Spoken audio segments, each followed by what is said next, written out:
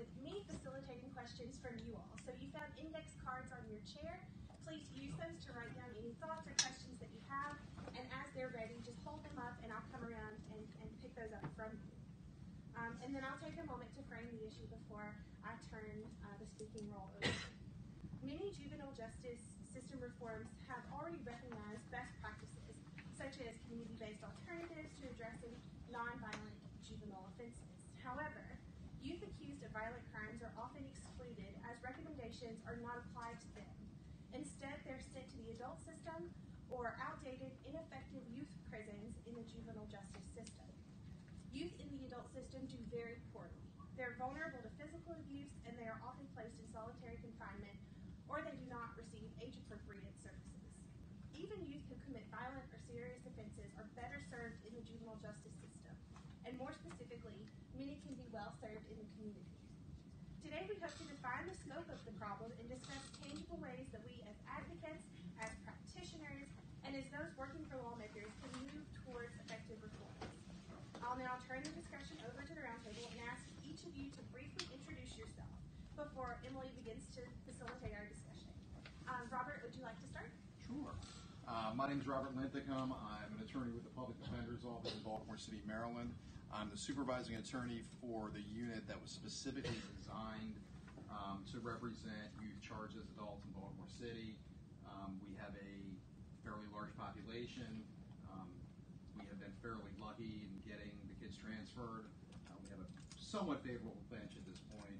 Um, what we do is we really try to bring out some of the challenges, the many challenges that the kids in Baltimore City face. And we do that by calling a lot of experts, psychologists, social workers, and psychiatrists. And I think some of the success has been based on the fact that we educate the judges and let the judges know that, hey, not everybody comes from their world. Um, you know, we try to give an accurate portrayal of the trauma and just some of the bad condi- economic conditions in Baltimore. Um, so I've also I've seen both. We also do um, we're I guess a model unit because we follow the cases from start to finish. We start in district court, to circuit court. Then if we win the transfer, we go ahead and follow the case in juvenile, and if we lose the transfer, then we do the jury trial in adult. Um, one of the things we've been a little bit effective in doing, if we lose the transfer, sometimes we can get situations where the judge will postpone sentencing to see how the defendant, the client, does in a juvenile facility. Um, so we, they're getting a little bit of that um, at this point, but overall, it, it's a challenging practice. Um, but we have had some pretty good luck lately with it, and hopefully, um, this legislative session there'll be some laws taking some of these cases out of the adult realm. Good afternoon. My name is Ashley Devon, and I'm the Youth Justice Policy Director for Advocates for Children and Youth. Advocates for Children and Youth is a nonpartisan statewide organization that works to improve the lives of children and youth throughout Maryland. Um, this past legislative session, we had um, some wins. We passed the Juvenile Justice Reform Council bill, and that is going to be a two-year um, sunset in which we look at how do we reform our current system and make sure that we return young people back into our communities. And we also raised the uh, minimum age of detainment to 12 years old, putting us in line with the national standards. Um, we will this year. We're working now to firm out what our legislative agenda will be for this this coming legislative session.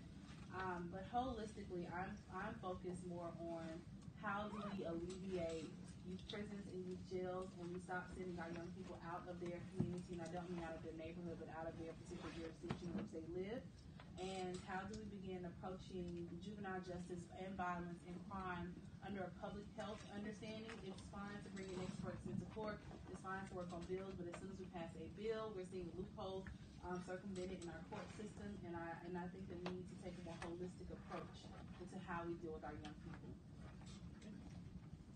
I'm Sarah Bryer. I'm with the National Juvenile Justice Network, which is a membership group of state-based advocacy organizations and individuals. Uh, we all seek to shrink our youth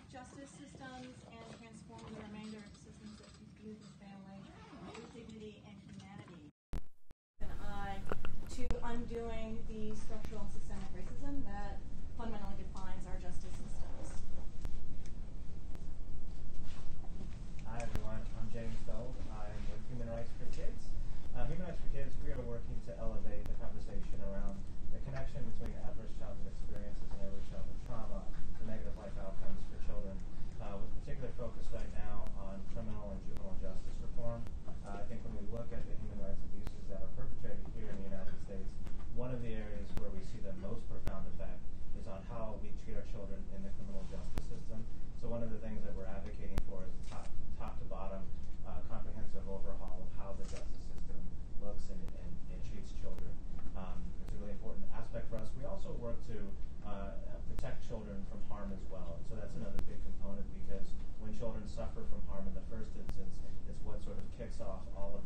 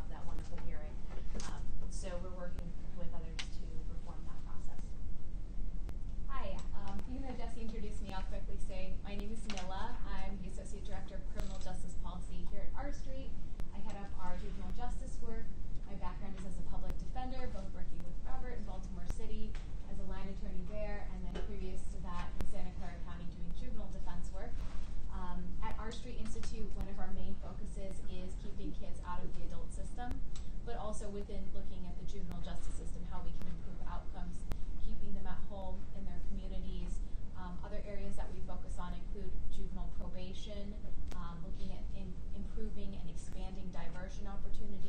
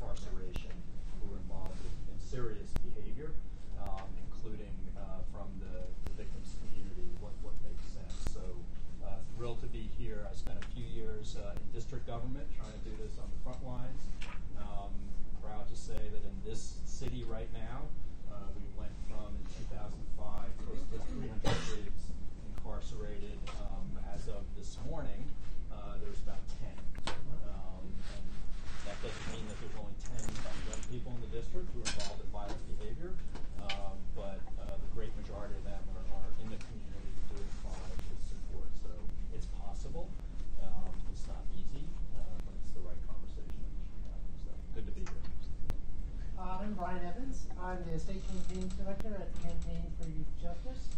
Our goal is to get all children out of the adult criminal justice system, out of uh, adult jails, out of adult prisons, out of adult courts.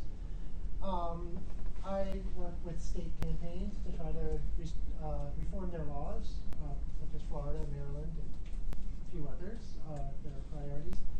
And uh, we also write reports and, and do research on this issue. I guess our most recent, most relevant recent report is, uh, if not the adult system, then where are alternatives to adult incarceration. Um, so this is um, this is obviously an issue that's very important to us. We we worked uh, a lot with states on raise the age campaigns, which is to get all 17 year olds or all 16 year olds out of the adult system. Most of those kids are are charged or convicted of misdemeanors and low level offenses. We're almost finished with getting our age uh, laws passed. Um, hopefully, after this month, there will three more states. Um, so we're going to be focusing more and more about on transfer laws on uh, that are that involve children who are accused of violent or serious offenses, whatever that means. So um, we are starting to look at this uh, as sort of a main And so I'm excited to be part of this discussion today. Thank you for inviting us. Awesome. Well, to kick us off, uh, my first question is: When we call offenses violent or serious, what are we talking about here? Um, and is there a problem with the current narrative around these offenses?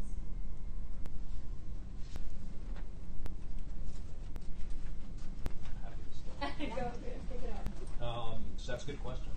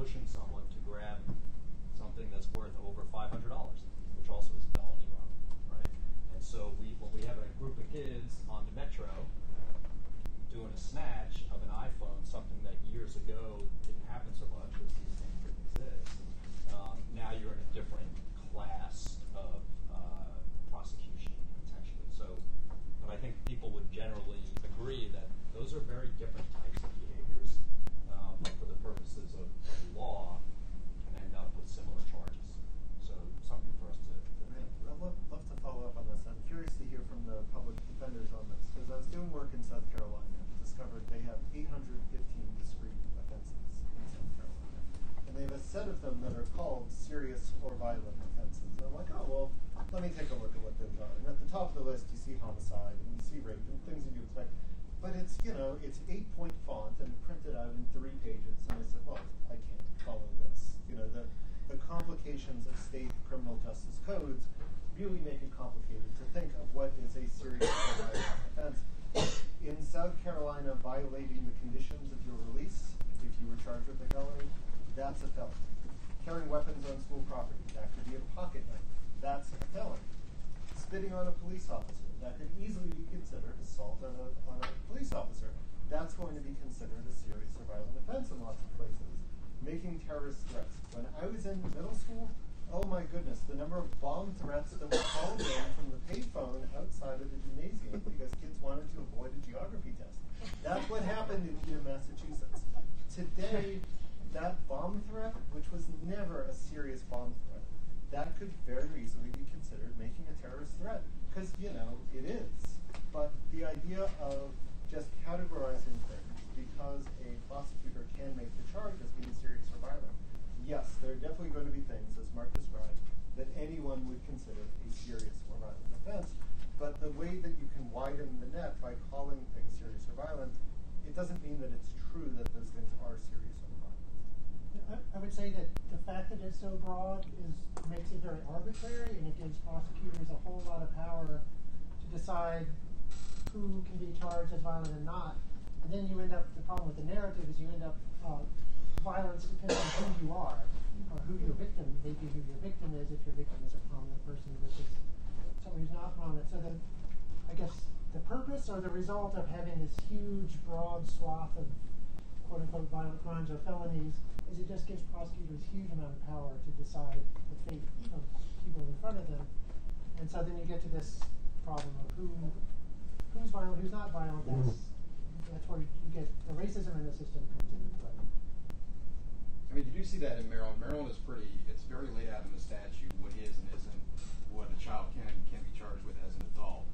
It gets, usually it's armed robbery would be, the, the juvenile, the kid would be charged as an adult. If it's robbery, no, it's generally not. But then you get into these weird things where the prosecutor, not weird, but facts where kid makes a motion like he's got something in his pocket. So that's where do you charge that as a robbery or an armed robbery? And that's kind of where it gets it gets a little vague. But generally, they're pretty delineated in Maryland as, as to what. It's not 85, it's a list. Uh, 32 charges can be uh, waived into the adult system. in Maryland. What's- is that the, is that the list? 33 automatic. Right, so there's a But then difference there's a between reverse- waiver and automatic. So Yeah. we do the ones where it's automatic when they're charged as automatic. But then there's a reverse transfer. Right, that's what it we do. Then Reverse transfer process. Right, that's what we do. I wanted to go back to something you said, Brian, um, about you know the narrative and the problems with the current narrative. To me, there's a couple of issues. One is that we divide people as nonviolent and violent into these buckets, and then they're supposedly completely different types of people. Right. And then within the bucket of violent, like we were talking about, there can be such a range of behavior, and yet all those people are violent. And then even taking another step back, we put people in buckets of victim and offender. And I think that's another artificial distinction, right? Because we know from our research that so many individuals who commit acts of violence were victims themselves or have seen violence, have been exposed to violence. And yet we often in the system, I think, ignore the trauma that they've had as well. So I think one of the issues with the narrative is all the separating that we do and then all the equating that we do. And then of course what you said that not everyone is, is treated in similar ways, even with those buckets, if they're similarly situated, right? And so much of it depends on and the color of your skin and where you're from. So Yeah, I think rhetorically, the move from violent offense to violent offender happens all the time. Oh, And yeah. Then you, you sort of tarred somebody for life, right? You're a violent offender, and that's, that's the end of it for you. That's, that's a real problem.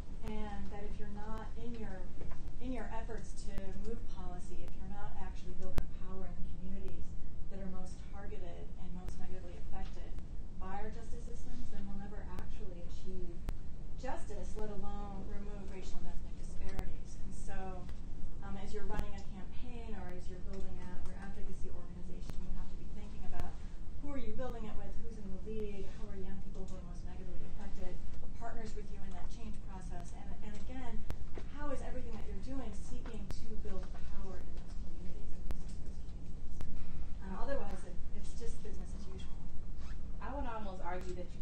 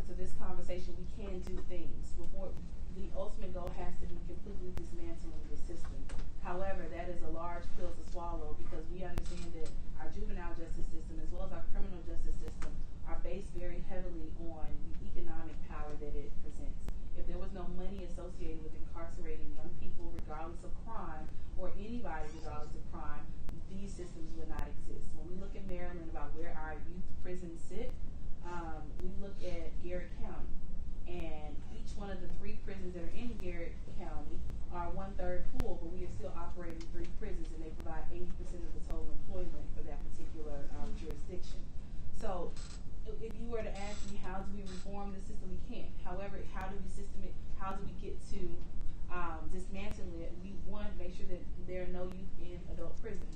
And we have to remove subjective reasoning from um, how our prosecutors and judges see our kids by removing opportunities for implicit bias. So we need to remove, much like I think, you know, Florida may have done a lot of things, but it seems as if you all may be a best practice in looking at um, uh, not allowing young people to be uh, automatically transferred to the adult system—that is, is something that we can even look to do in Maryland.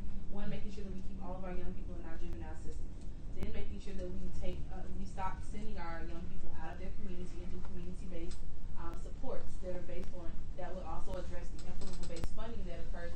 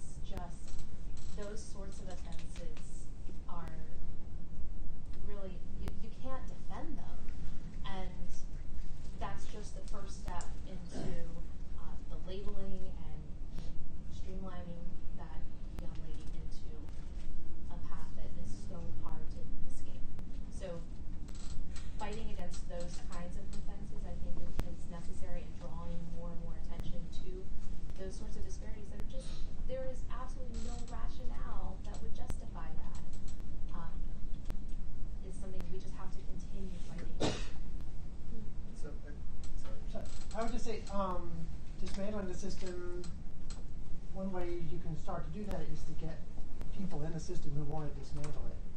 Uh, and reform it while you're dismantling it, make it work better. So I think elections really matter, local elected judges, prosecutors, and, you know, I'm, I'm looking to see what happens in Houston when they threw out every single juvenile court judge and replaced them all with women of color. It's gonna be an interesting thing to see what happens there.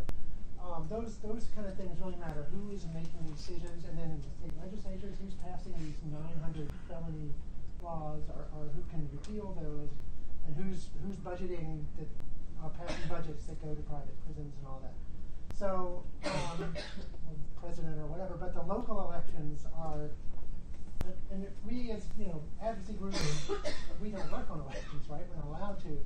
So, but, but there needs to be, and I think there's, is some more focus now on getting the right people into the system to either make it better or dismantle it. Uh, so I think that's really important, even though that's not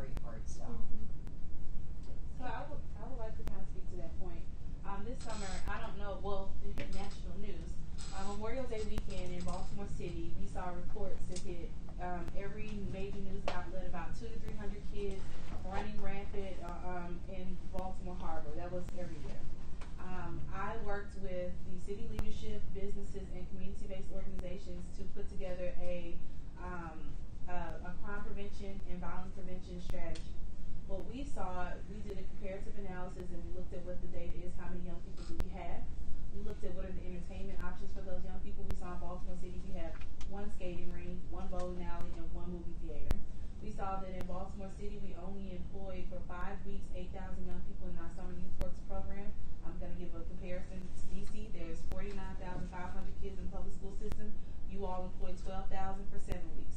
Um, so we have more kids, less money. We also saw that um, there were humongous gaps in the time periods Friday and Saturday, which we had the most expected crime. That is 3 to 11 p.m.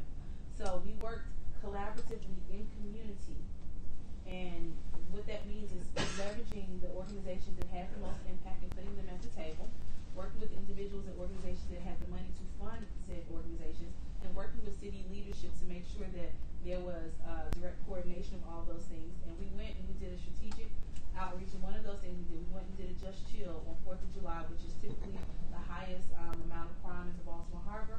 We saw zero youth arrests and zero um, uh, uh, uh, victim reports. We did the same thing on Labor Day weekend. So there are alternatives. There are very clear alternatives. I think that when we get into these discussions, we are not used to buying into the alternatives, and we're not used to advocating for a. Um, the power shift has to happen with people who are directly impacted at the table, but the power shift also has to happen with where we spend our money. In Maryland, we're saying that we don't have money for the Kirwan Commission, but yet we are spending tons of money in youth justice. If we were to close three of our youth prisons, we can fully fund Kerwin and any additional initiatives. If, if we were to fund the organizations based on how they impact our community instead of leveraging organizations that are contracted through DJS that do not show substantial gains. We can change those things so that. So I, I guess the only thing I'm saying by showing you a direct example is there are very clear alternatives of what can happen, and we have to just be courageous enough to follow through with them and allow our advocacy to support them. Let, following up on that, you talked about great alternatives Let's for, for preventing crime in the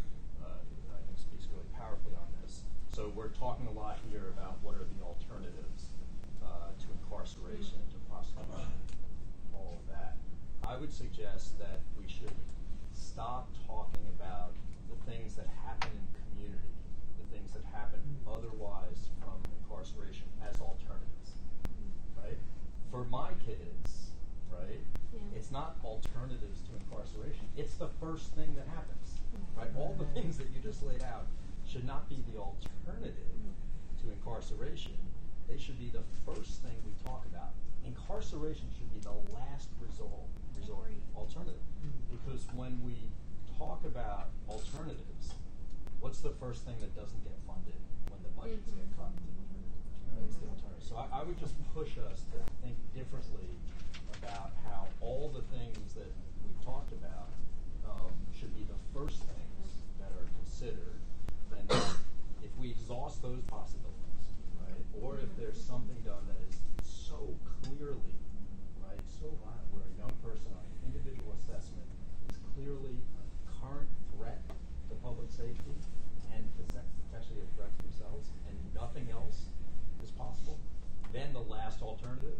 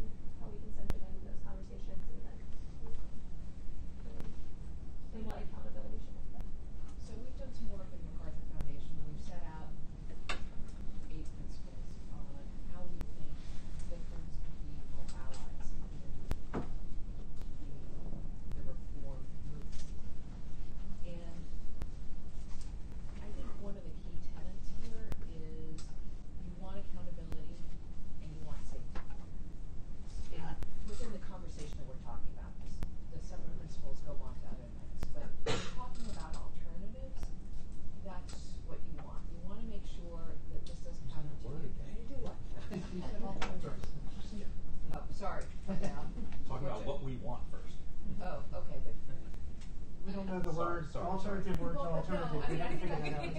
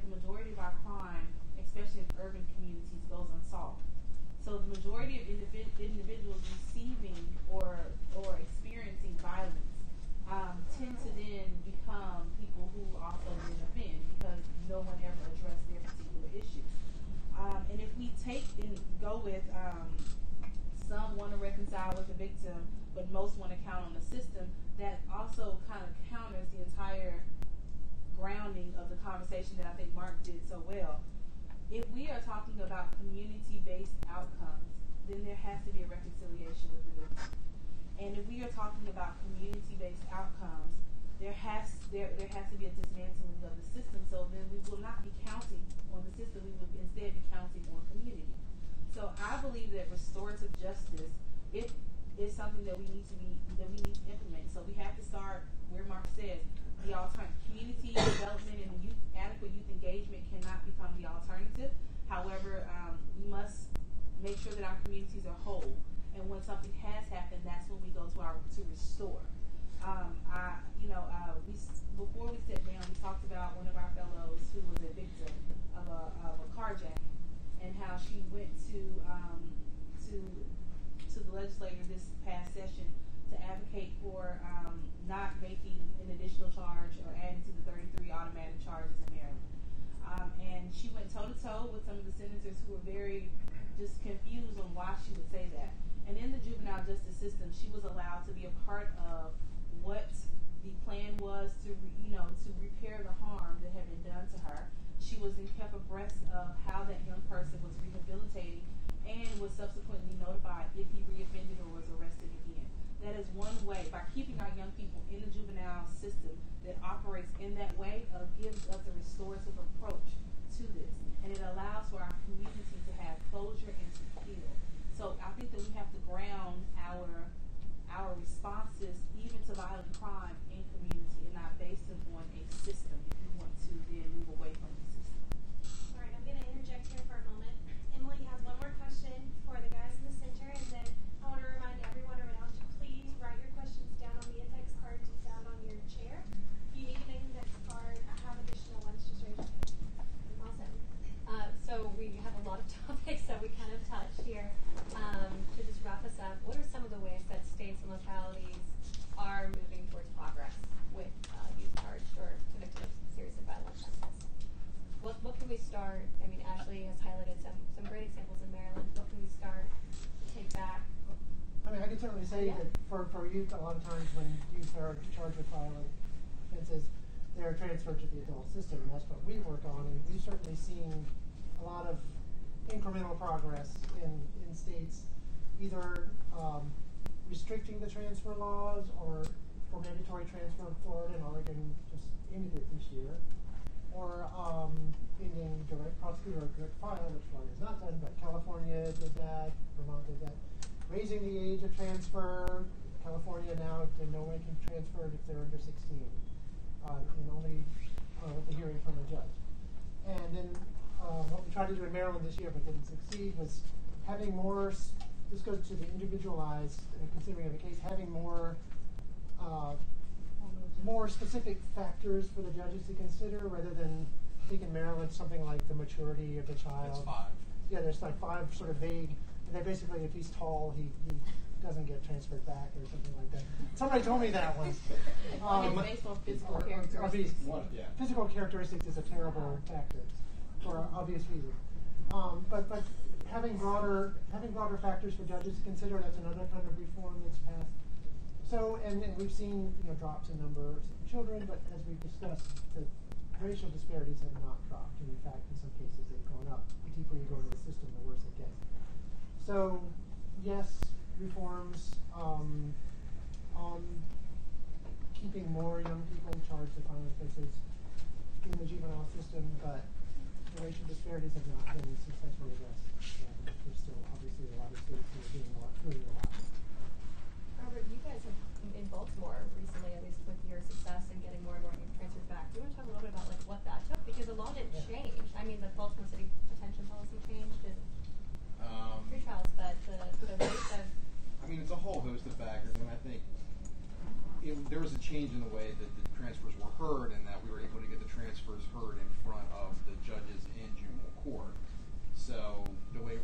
it is you would just get a random judge, usually someone out of criminal court, they didn't even know what the system was. By moving it down to the juvenile justice center with the judges that did just juvenile, they kind of knew what the programs were. I mean, some concern with that because they know what programs were going on, but generally, I think that was effective. I think the other thing is just constantly putting on these transfer cases, and we call experts in almost every case. And it's just to get out there the trauma that these kids suffer because the way it works with transfer is you file a motion to transfer, the circuit court judge signs it, and then Department of Juvenile Services does a study. They don't catch half of what goes on in the kid's life. Um, I mean, we've had cases where Department of Juvenile Services report um, the kid was fine, no big deal, he lives with his mom. Well, he's got a social worker, turned out he lived with his mom because his dad was murdered in front of him like Christmas Eve. So, I mean, I think it's a lot of getting the information out there, um, just really advocating, whoever's doing the transfers wherever, just really advocating, bringing it out.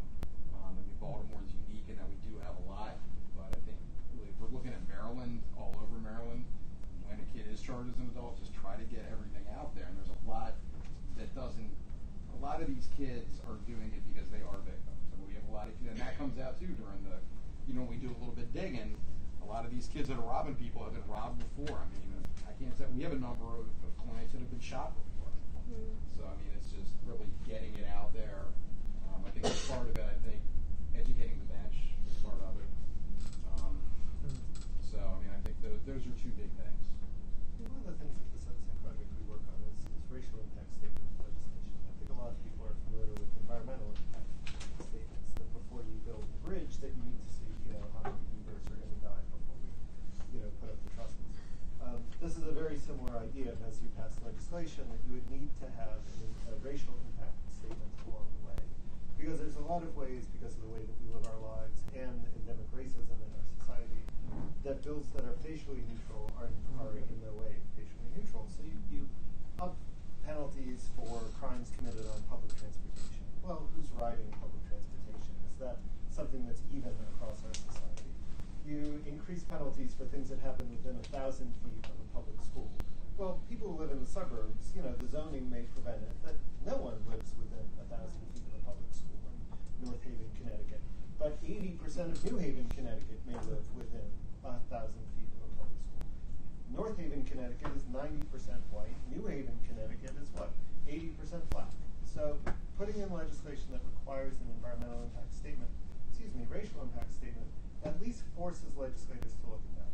I'll say this, that doesn't mean that the bridge doesn't get built, that doesn't mean that the law doesn't get passed.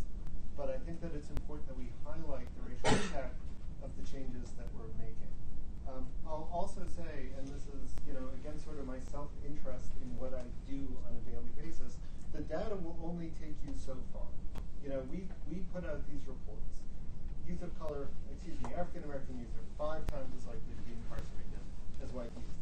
And I put out that report and I start getting emails back in.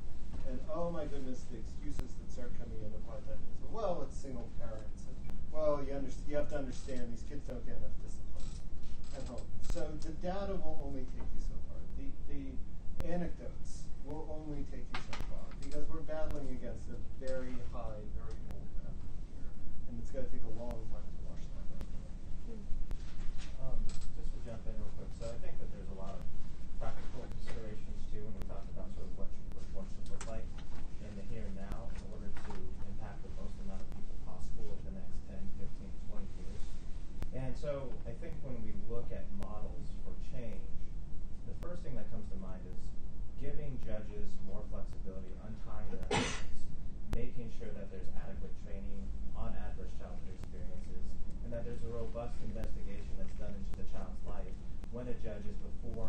each other.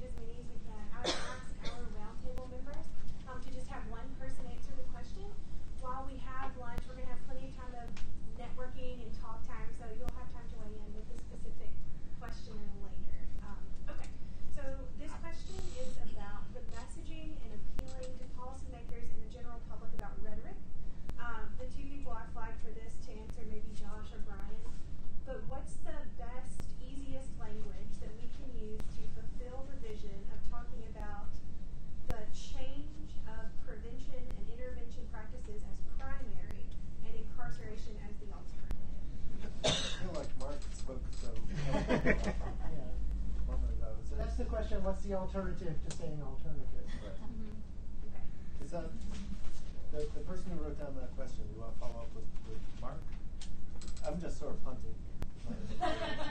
Well, and then, yeah, so I don't know if that question came before what I said or not, but I mean, the one thing I guess I would just add to that is sort of um, following up on some of the discussion, and this gets to what I think your question was sort of what should be in place, what have places done to um, keep kids and kids involved in serious behavior going deeper into the system, right?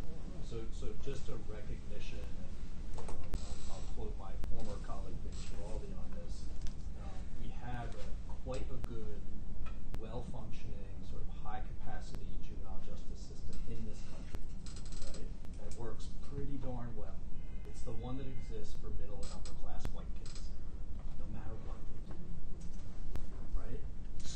this is in many ways not rocket science, right? I mean, it's the things that Ashley was talking about that we know should be put in place in communities, high quality education, right?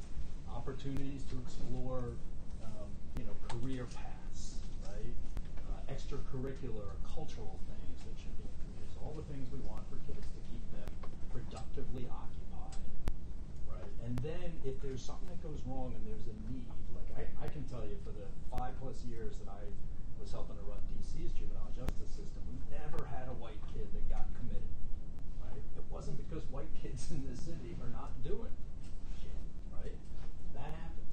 But I can tell you when my office was, was in the detention center, right? So when I would walk through the, the waiting area of the detention center, if I saw, if there was a white kid in the facility, which happened very rarely, pre-trial, there'd be a whole bunch of white folk in the lobby, right?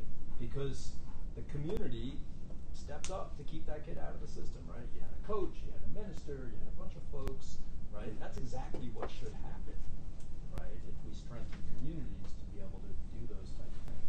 If a kid needed mental health or substance abuse treatment, well, then there was private insurance.